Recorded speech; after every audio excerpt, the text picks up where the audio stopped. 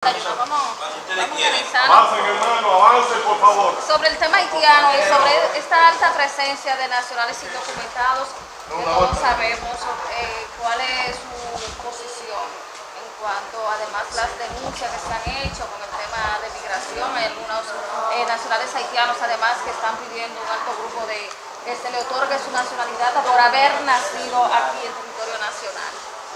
Mira, antes de responderte tu pregunta, debo decirle a la opinión pública nacional que los militares combatientes y combatientes civiles de abril de 1935 hemos venido a celebrar esta misa para recordar los caídos en la lucha por la libertad y la democracia que hoy estamos en este país disfrutando. Estamos recordando por lealtad a su espíritu de lucha patriótica. Con relación al caso de Haití, el caso de Haití, a pesar de ser tan complejo, es un caso que se puede resolver, pero es los dominicanos unidos, los dominicanos cumpliendo siempre con la constitución y las leyes, los dominicanos dándole elaborando y dándole cumplimiento a un plan nacional de desarrollo donde la oposición y el gobierno asuman la defensa de la soberanía nacional, donde todo el país forme equipo de lucha por la soberanía nacional. Entonces, en base a la unidad de los dominicanos, aplicar la ley de migración. Los haitianos y cualquier extranjero que venga al país indocumentado debe de ser devuelto a su país. No es verdad lo que dice ACNUR ni lo que dice la ONU de que nosotros tenemos que recibir grupos de haitianos aquí por la situación que ellos están pasando. Si ellos quieren que los haitianos vivan en Haití, que manden la cantidad de soldados que se comprometieron, de más de 2.000 soldados, para poder neutralizar las bandas en Haití y acabar con la anarquía. Eso está en poder de las Naciones Unidas, eso está en poder de la OEA. Ninguno puede señalarnos a nosotros como culpables de la situación haitiana. Son ellos los que tienen que ayudar a Haití, crear las condiciones para que, para que en Haití cada mujer, cada niño que nazca o niña sea registrado de manera civil, para que cada haitiano salga con documentos de su país. El, el Estado haitiano, 224 años de, de independencia, no ha podido consolidar un criterio de Estado-nación. Eso, eso es culpa de los haitianos.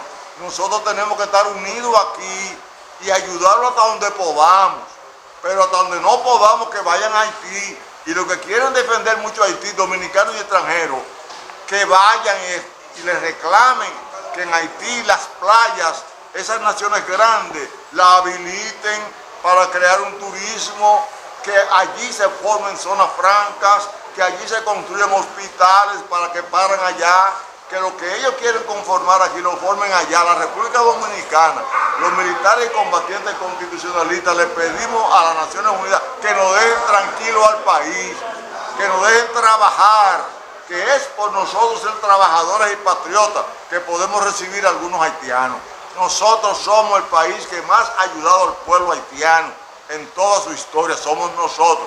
Que le echen la culpa a Napoleón cuando invadió en el 1802 lo que ya había resuelto Toussaint Louverture.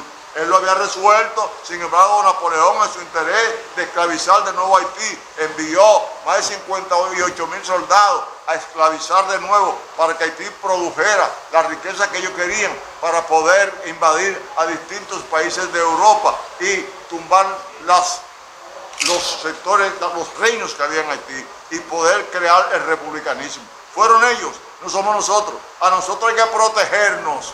Las Naciones Unidas tienen que proteger para que este país siga viviendo su, desarrollo hacia un mundo mejor, como es lo que ha sometido al Congreso el presidente de la República cuando pide el fin del caudillismo y el mesianismo, cuando pide que aquí se abran las puertas de la libertad y la democracia a lo interno de los partidos. Las masas que votan, de acuerdo al artículo de la Constitución, han sido anuladas, no se educan para que se dejen sobornar y que vuelva al poder siempre la corrupción. Nos pronunciamos contra eso y en favor de la reforma a la constitución de la República. Sobre la declaración jurada de bienes de los funcionarios, ¿qué puede Que cumplan con ellos y los que no cumplan que los saquen del gobierno. Inmediatamente.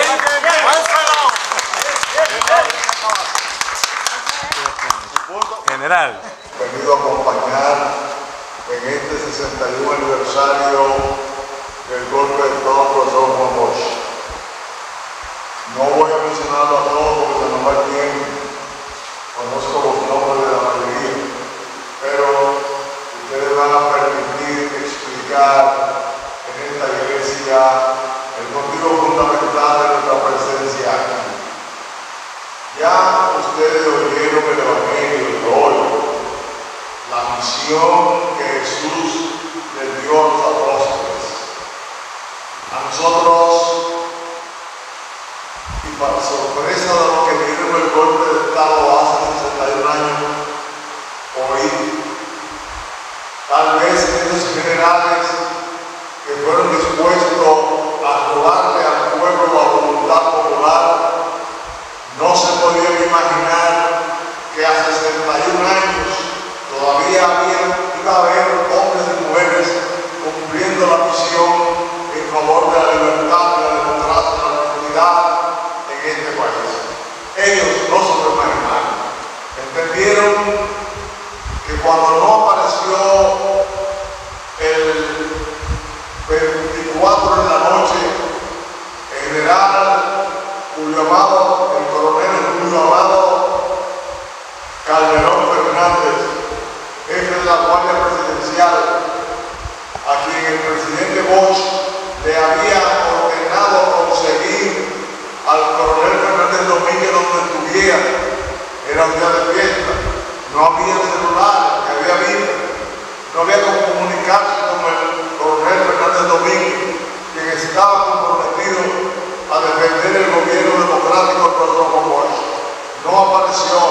Apareció, a las 10 de la noche y no se pudo entonces evitar el golpe. Se dio el golpe de Estado.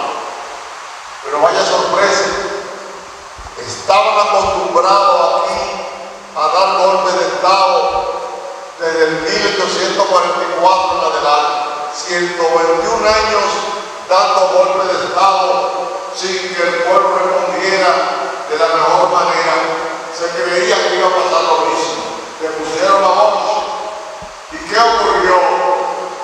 Señores, la respuesta nosotros, los militares y combatientes civiles, el 24 de abril, cuando nos levantamos bajo la dirección del capitán Mario Peña Taveras, quien había seguido los postulados del coronel Fernández Domínguez de devolverle al pueblo lo que los militares habían quitado, que era la soberanía popular que habían expresado el 20 de diciembre de 1962, cuando se dispusieron a votar por un gobierno honesto, capaz, digno, honorable, como era el gobierno del profesor Bosch.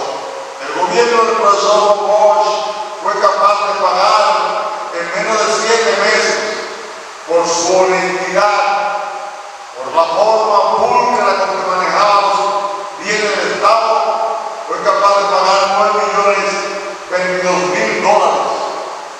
La misma cantidad aproximadamente que pagó Trujillo en 17 años, la pagó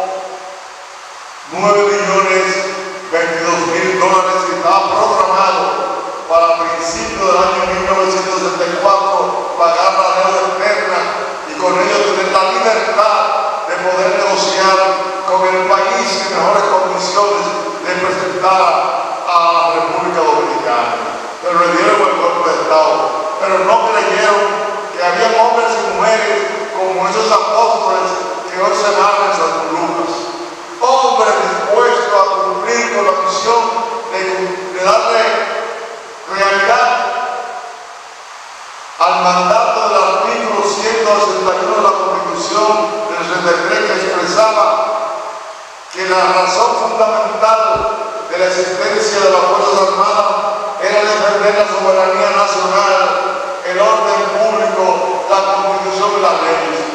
Los militares guiados por el pensamiento de Fernando Domínguez